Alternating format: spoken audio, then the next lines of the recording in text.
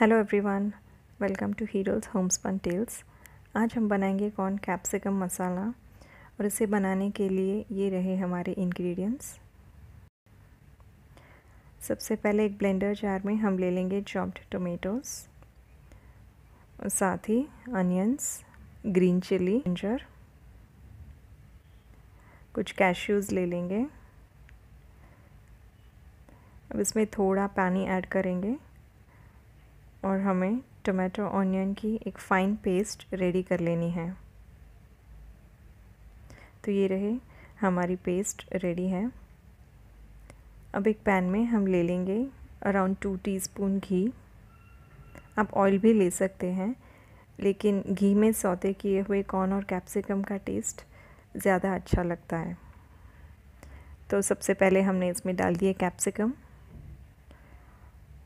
और उसके साथ ही बॉइल्ड कॉर्न अब इन दोनों को हमें थोड़ी देर तक सौते करना है। अराउंड थ्री फोर मिनट्स तक हमें ओवर कुक नहीं करना है कैप्सिकम और कॉर्न को। तो मीडियम फ्लेम पर सौते करते जाएँगे।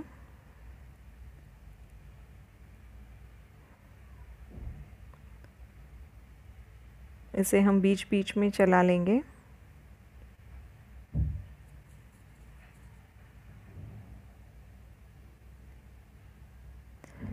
इसमें हम डालेंगे थोड़ा सॉल्ट फॉर सीजनिंग और गैस ऑफ़ करके इसे हम साइड पर रख देंगे। अब एक दूसरे पैन में हम ले लेंगे ऑयल जैसे ही ऑयल गर्म होता है, इसमें डालेंगे जीरा।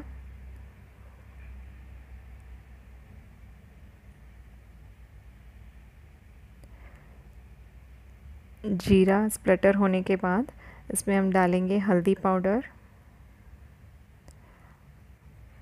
कश्मीरी लाल मिर्च पाउडर,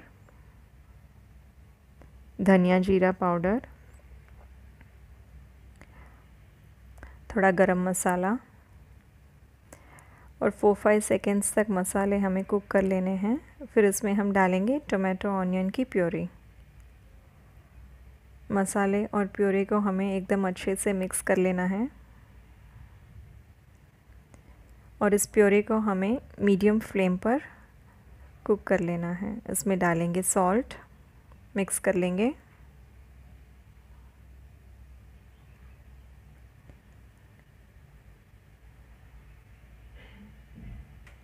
और इस प्योरे को कवर करके हम कुक कर लेंगे।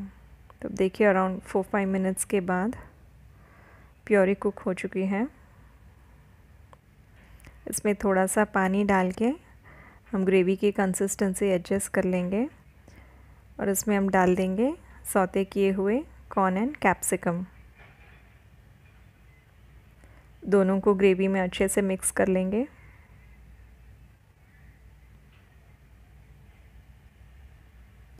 और इसे भी हम सिमर होने देंगे around two two three minutes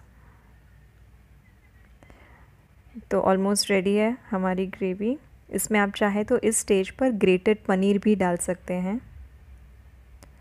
lastly मैंने डाले हैं कोरिएंडर लीव्स यानी धनिया पत्ते।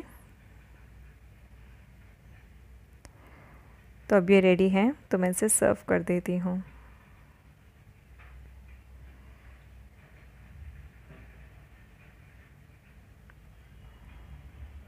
अब इसे गार्निश करेंगे ग्रेटेड चीज़ के साथ। चीज़ का फ्लेवर कॉर्न और कैप्सिकम के साथ बहुत अच्छा आता है। And finally some coriander leaves